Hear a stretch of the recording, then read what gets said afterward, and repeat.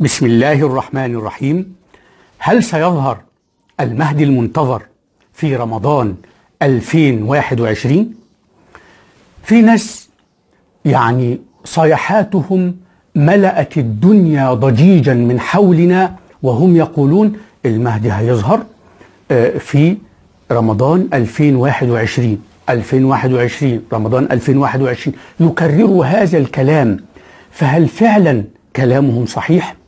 تعالوا معا آه، نرى حقيقة هذا الأمر ونشوف الموضوع مع بعض بعد هذه المقدمة التي نقدم بها إن شاء الله تعالى. الحمد لله رب العالمين والعاقبة للمتقين ولا عدوان إلا على الظالمين. ونشهد أن لا إله إلا الله وحده لا شريك له وأن سيدنا وحبيبنا وعظيمنا محمدا صلى الله عليه وآله وسلم تسليما كثيرا. وارض اللهم عن ساداتنا أبي بكر وعمر وعثمان وعلي وعن الصحابة أجمعين وعن التابعين وتابعيهم بإحسان إلى يوم الدين. اللهم إنا نعوذ بك من أن نشرك بك شيئا نعلمه ونستغفرك لما لا نعلمه. اللهم إنا نعوذ بك من أن نقول زورا أو أن نغشى فجورا أو أن نكون بك ربي من المغرورين. أما بعد بداية يقول الله تعالى في الآية 17 من سورة الرعد فأما الزبد فيذهب جفاء وأما ما ينفع الناس فيمكث في الأرض. كذلك يضرب الله الأمثال. افهم كلام ربنا كويس عشان سنحتاج إليه وإلى تأويله الآن وإلى فهمه الآن. وكذلك أردد قول الإمام علي كرم الله وجهه ورضي الله عنه وأرضاه. الإمام علي بيقول إيه؟ ما أبقى خفق النعال وراء الحمقى من عقولهم شيئا. ما أبقى خفق النعال وراء الحمقى من عقولهم شيئا. فيزعمون هؤلاء الحمقى. يزعمون إيه؟ يزعمون أن المهدي رسول ويزعمون أن المهدي مذكور في القرآن ويزعمون أن المهدي يعلم الغيب وكذبوا في ذلك كله. في كل ده هم كذابين. المهدي ليس رسول المهدي لا يعلم الغيب المهدي غير مذكور في القرآن إطلاقا. دعونا قبل أن يعني نخوض وندخل في في غمار هذا الحوار وهذا الحديث.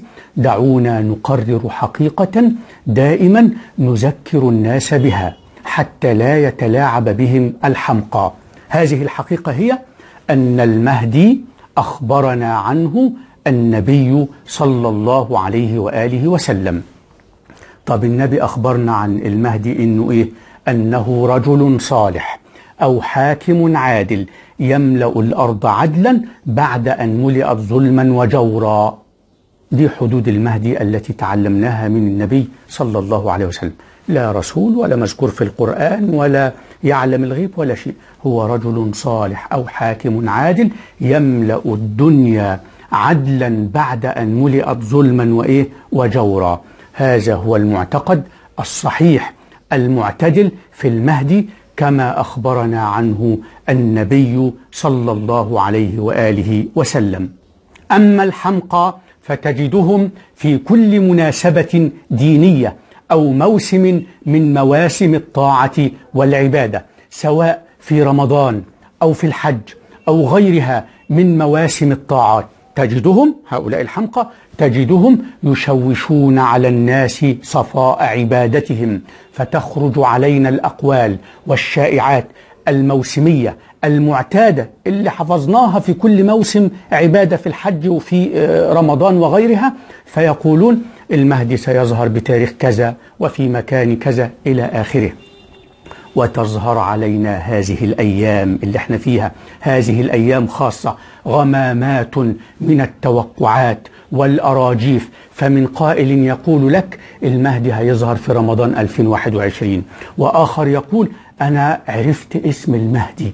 واسمه مكون من أربعة حروف نورانية. لكنها لكنه هو المهدي مجهول بالنسبة لي. يعني هو عارف اسمه بس ما يعرفوش. وعارف إن اسمه مكون من أربع حروف نورانية بس ما يعرفش من هو.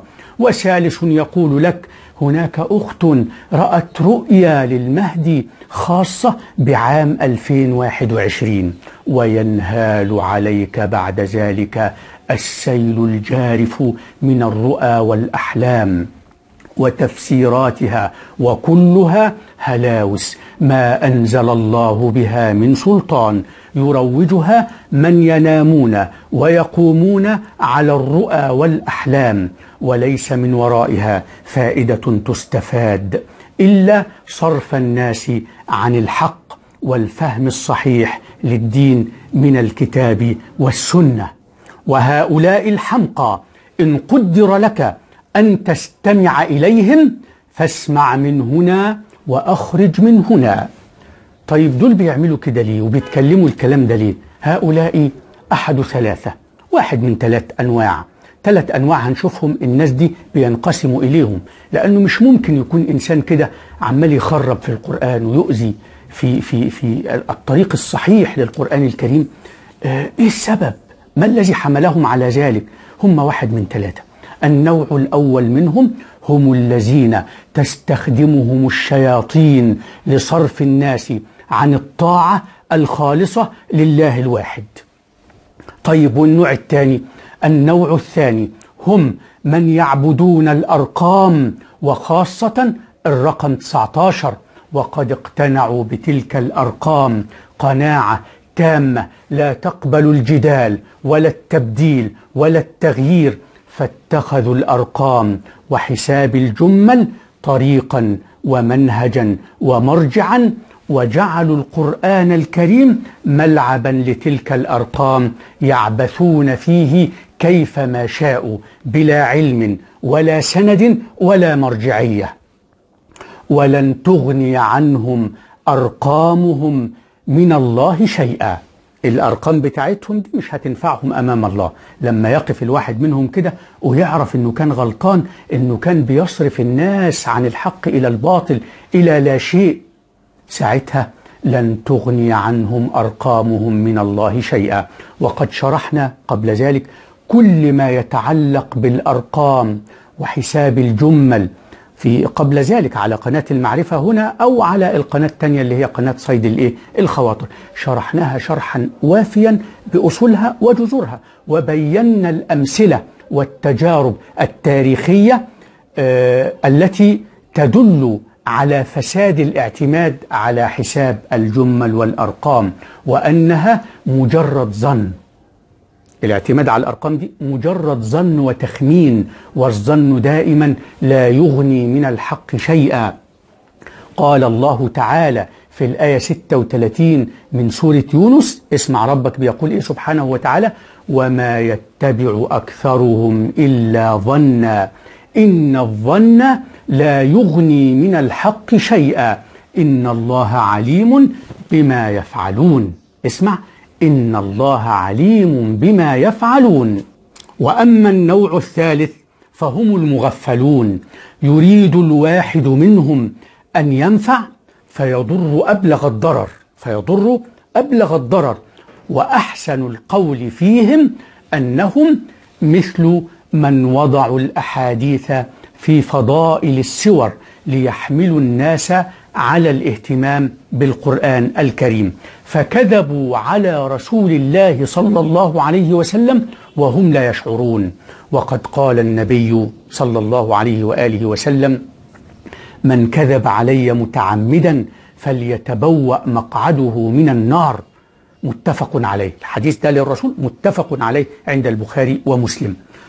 آه طيب وضع الأحاديث دي والكذب على رسول الله صلى الله عليه وسلم كان قديما حرفة وهواية عند بعض الناس تخيل حرفة وهواية عند بعض الناس انه يضع أحاديث ويكذب على رسول الله صلى الله عليه وآله وسلم ينتفع بذلك وفي في أقسام لوضع الأحاديث ده بيضع لكذا وده في سياسية وفي زندقة وفي بعض اللي هم بيظن إنهم بيعملوا خير إلى غير ذلك من أقسام ارجع إليها إن شئت. ليس موضوعنا التبحر في هذا الآن. يبقى في ناس حرفتها وهوايتها وضع الأحاديث والكذب على رسول الله.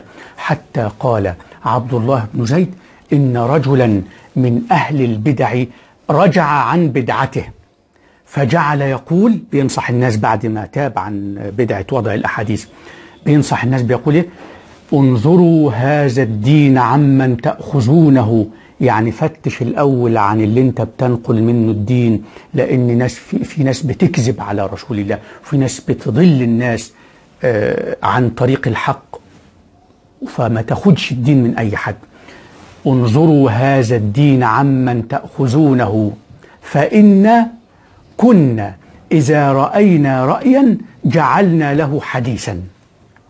يعني الرجل اللي تاب ده عن البدعة بتاعته بدعة وضع الأحاديث يقول كنا لما نشوف رأي لنا وجهة نظر نحط حديث ندعم وجهة النظر بيه لما يكون لنا رأي نحط حديث عشان يسند الرأي بتاعنا.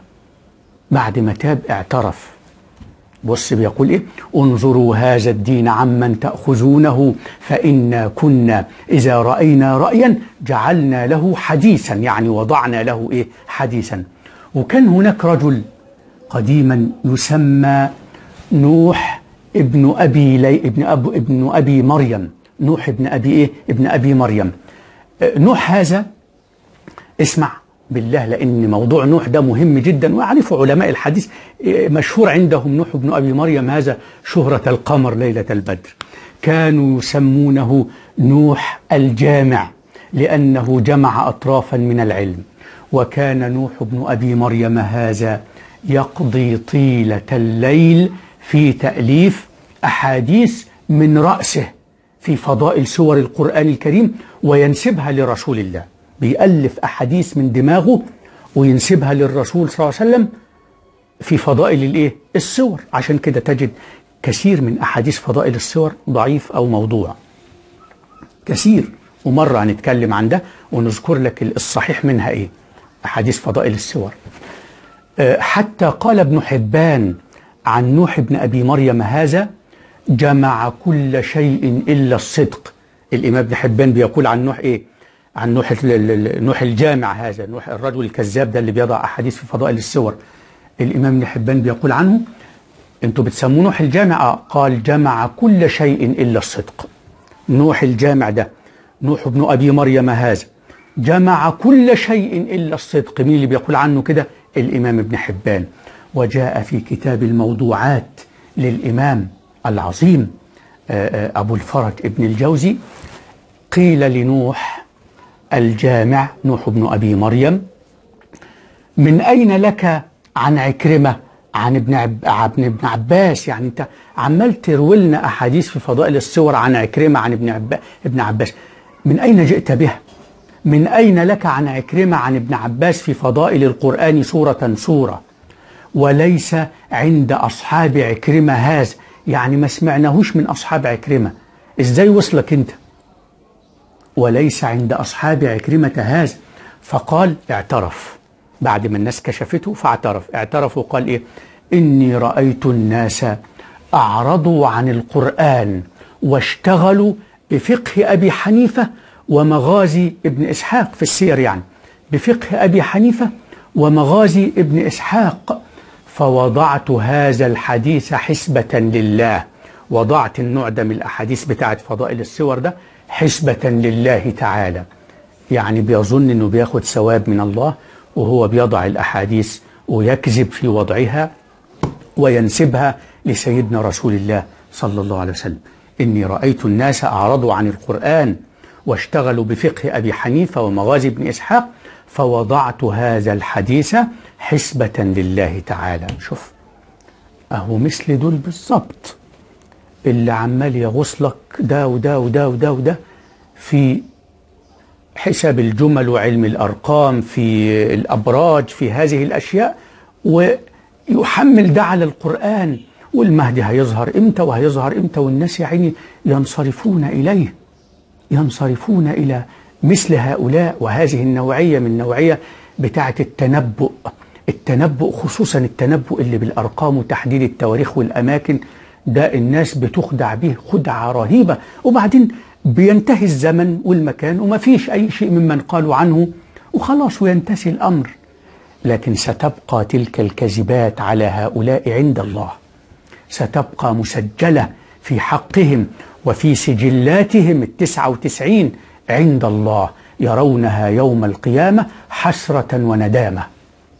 لأن الكذب في الدين ده شيء فظيع والكذب على رسول الله. النبي بيقول من كذب علي متعمدا فليتبوأ مقعده من النار نسأل الله عز وجل أن يهدي الجميع. ده بعض الناس منهم تجد وجهه يعني سبحان الله ربنا مديله وجه منير وشكل حلو. ومنطق حسن. استخدمه في الخير يا أخي. استخدموا استخدموا في النقل عن صحابة رسول الله. استخدموا في النقل عن عن الصحيح من دين الله. عن تفسير القرآن عن علم الصحابة عن علم الفقهاء الأربعة وغيرهم. انقل للناس الصحيح كن داعية إلى الله كن ناقل خير للناس. تنفع نفسك قبل أن تنفع الناس لكن تنقل لهم لا شيء. خزعبلات هوائيات فجوات مفرقعات وليس بداخلها شيء. نسأل الله أن يتوب على يعني كل من حاد عن الطريق وإن شاء الله الفيديو القادم والحلقة القادمة عن المهد المنتظر وبنيات الطريق. نعرفك يعني إيه بنيات الطريق وإزاي الناس بتقع فيها في موضوع المهدي المنتظر ده. نسأل الله أن يعيننا على ذلك وأن يسدد خطانا في أن نجلي ونوضح للناس حقيقة الأمر بقدر ما استطعنا من جهد ونسأل الله أن يجمع الناس على الخير وأن يؤلفهم على طريق رسول الله الصحيح الصواب الصائب. نسأل الله ذلك. وآخر دعوانا أن الحمد لله رب العالمين والسلام عليكم ورحمة الله وبركاته.